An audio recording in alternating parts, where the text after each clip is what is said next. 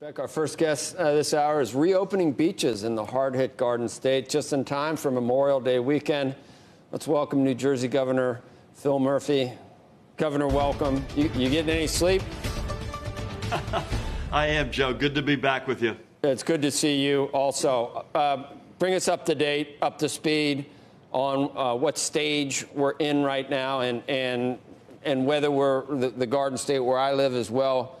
Uh, is it really the right time in terms of all the, the statistics? Are we, are, are we within all the guidelines in terms of? Uh, yeah.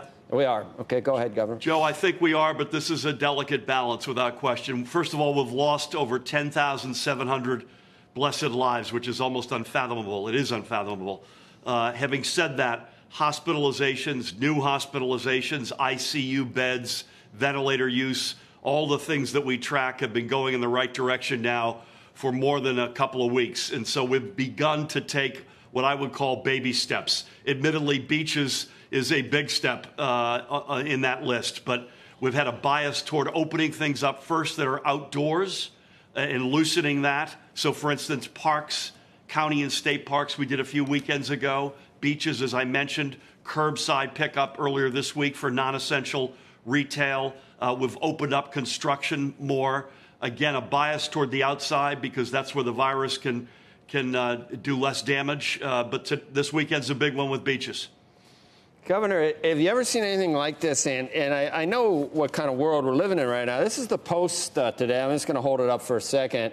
Uh, I mean, a, a, major news, I don't know, is the Post a major newspaper? It needs to end now. And, and I could look at the Daily News and I could find a cover that says, Are you out of your minds to even consider stepping out of your house? So it, it and you look at the polls, and it's like so weird. It's like 90% of Republicans say one thing, and 90% of Democrats say the opposite. I, how do you yeah. how do you walk the line? You, you've got an economy in New Jersey that you want to, you know, you want people to go back to work, but we don't want anyone to die. It's so weird to watch, yeah. Governor.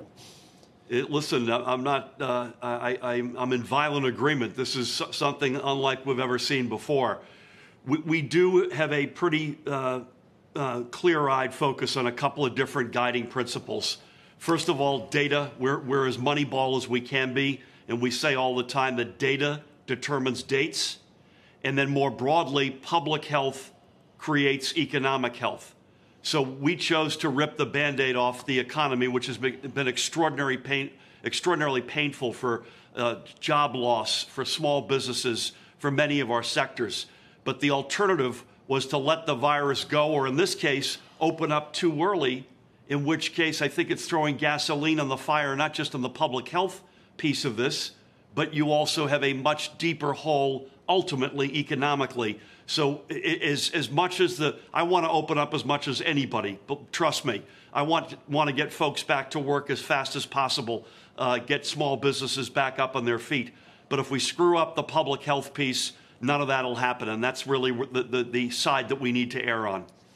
There's so many different um, conflicting winds on, on how to go. We want herd immunity.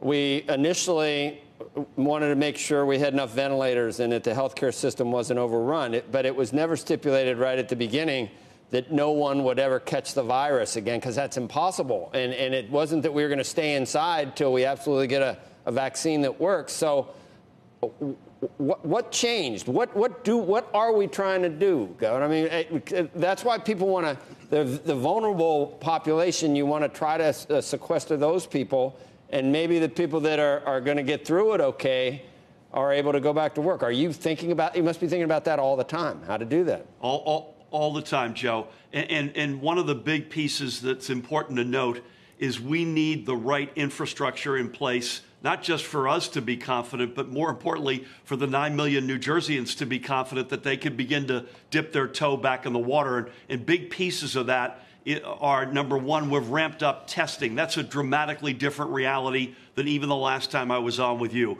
We're, now going to be able to, by the, end of next week, we'll be doing over 20,000 tests a day in the state. Secondly, contact tracing between a, an amped up body of folks who are getting on the phone and, and, and speaking to people along with, with technology. Those are two realities that we have in the state today that that no state had when this whole thing started. That's intended to give folks the confidence that, you know what, if we, if we see a flare up, we could spot it quickly. We've got a plan in place to isolate that.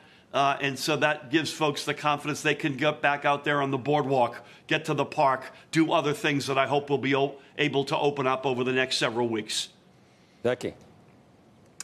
Governor, that was kind of my question too. You answered part of it, but we've been speaking with Scott Gottlieb every day, the, the head of the, the former head of the FDA. His concern I love him. Jersey guy, by the way. Will, yeah, yeah, and his concern is that things are going to die down uh, in July and August. That's the good news. But his concern is it will come back in the fall, kind of like H1N1 has in the past. Yep. He's concerned that we won't be ready for that, that we won't track it quickly enough. Um, how, how, how do we do that? Where are all these testing places going to be? His concern was that it wouldn't be done in doctors' offices. There would be some, simply coronavirus testing places that you had to go to, and he doesn't think that's enough. And the contact tracing that you mentioned, I live in New Jersey too, and I, I don't know anything about that yet. By the way, we, we, got you got a lot of Jersey blood in the show, which is another reason I love coming on this. yeah. uh, listen, I, uh, Scott's Scott's a, a, rock star, and, and he's a guy we look to and speak to, uh, and and and you hear that from him, and you hear it from other experts that this thing could come back in yeah. Uh, in the fall with a vengeance. Which is why on our sort of six stop road to recovery, the sixth point is resiliency. Uh, and, and by that we mean really two things. One is this virus is has torn open uh, in full public view awful inequities, particularly along racial lines in our society. And secondly, to your question, Becky, its resiliency in making sure we've got the bed capacity, ventilator capacity, PPE, healthcare, uh, bullpen help, uh, the medicines, et cetera, that we didn't have either as a nation or certainly in our state when this started, that we've got that in, in our stockpile, if you will, uh, in, in anticipation of, God willing, I hope it doesn't happen, but if we get that second wave, and that's another area that we're focused laser like on right now. I mean, great news to, to have a lot of the things prepared that we didn't in the past hospital beds, PPE. But I, I, mean, I'm thinking of this as a parent, and if I send my kids back to school in the fall, I want to know immediately if there's an outbreak somewhere so that I know how to protect my family, particularly if I have any vulnerable members of my family. How, how can you yeah. make sure we know that quickly and immediately? Yeah, well, testing is a big part of that, and, and we've scaled it up and we'll continue to scale it up.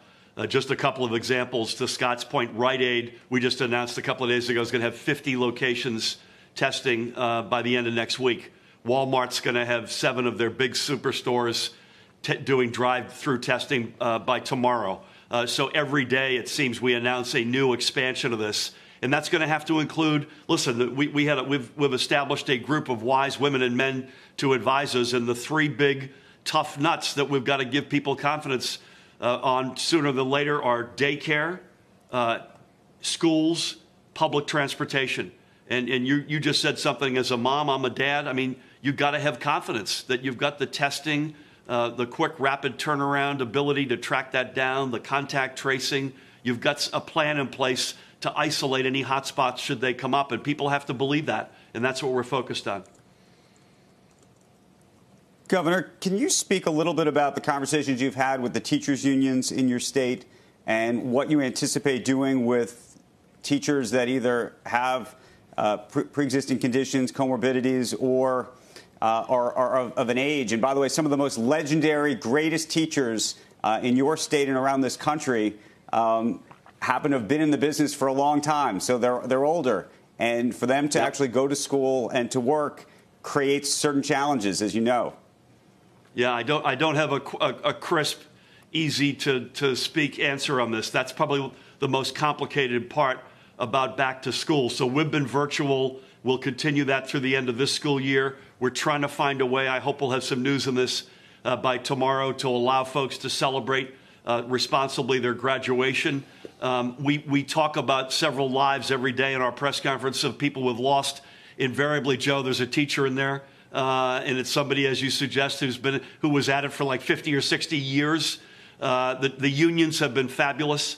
Uh, we have the number one public education system in America, uh, and we want to keep it that way. Uh, but we've got to find a way, I think, re- responsibly, uh, not just for the moms and dads, as to Becky's point, that you could have kids back together in some responsible social distancing way, but that you're protecting uh, genera- the cross generational uh, aspect of this virus. I don't have a crisp answer for you, but I suspect it's a lot of social distancing, uh, uh, probably a decent dose of virtual learning, uh, and a whole lot of testing uh, on a regular basis going on. I would bet those are the ingredients.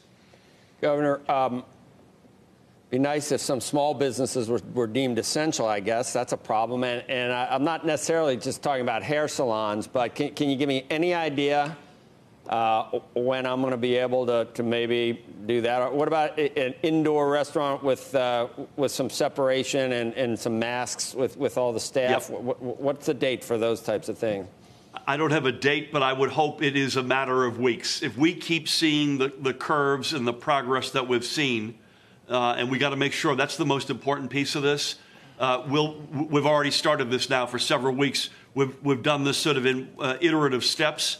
Outside's easier than inside, so the toughest nuts to crack are inside, no ventilation, sedentary.